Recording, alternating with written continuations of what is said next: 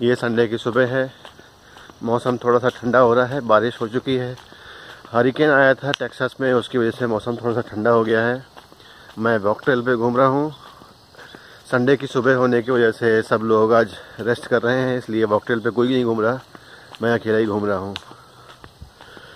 और ये देखो, चारों तरफ़ हरियाली है पूरी। यहाँ पर नेचुरल रिसोर्सेज से लश है, खरगोश और हिरन यहाँ पर घूमते हुए कभी कभी मिल जाते हैं। खरगोश तो अक्सर दिखाई पड़ेंगे हिरन कभी कभी मिल जाते हैं। तो नेचुरल रिसोर्स यहाँ पर बहुत अच्छे हैं।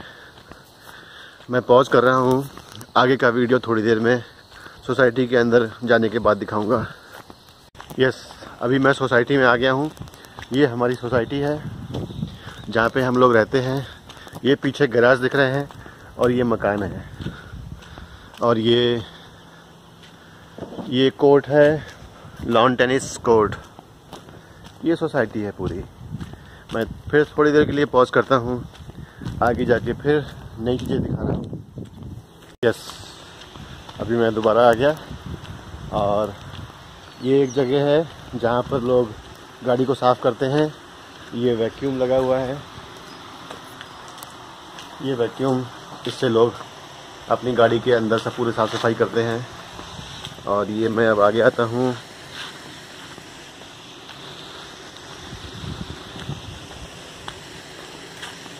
ये ये फाउंटेन लगे हुए हैं। ऐसे बहुत सारे फाउंटेन लगे हैं सोसाइटी के अंदर। बतख तैरती रहती हैं। और ये उसी के बगल में स्विमिंग पूल है। अभी सुबह सुबह ठंड हो रही है, इसलिए यहाँ पर कोई भी स्विमिंग नहीं कर रहा होगा। पेड़ों से घिरा हुआ है चारों तरफ़ से।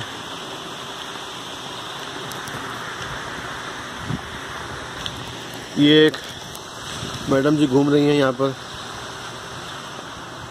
इनके पास जाते ही ये भाग जाएँगी। भागो भागो भागो भागो।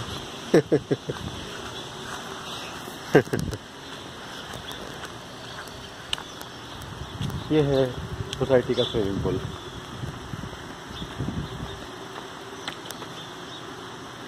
फिर थोड़ी देर के लिए पॉज करता हूँ। अभी ये आ गए सोसाइटी के लीजिंग ऑफ़िस में।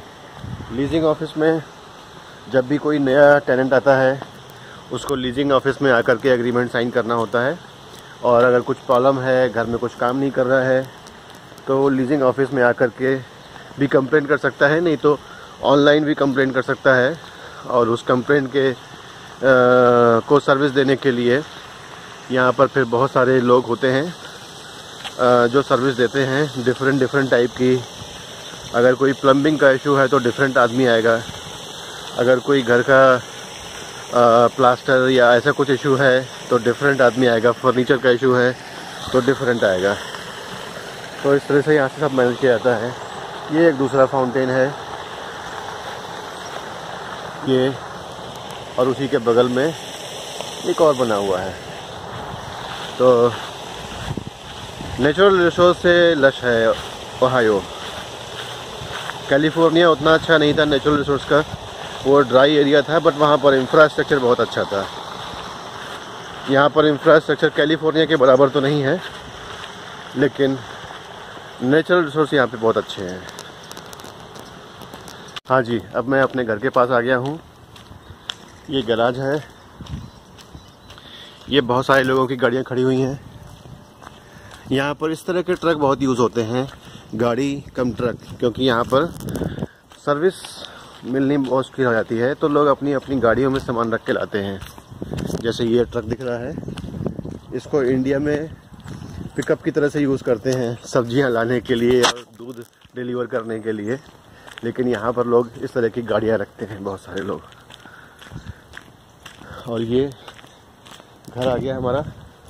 ये बाहर से पैटियो, दिखाता हूँ मैं। ये बाहर से पैटियो है।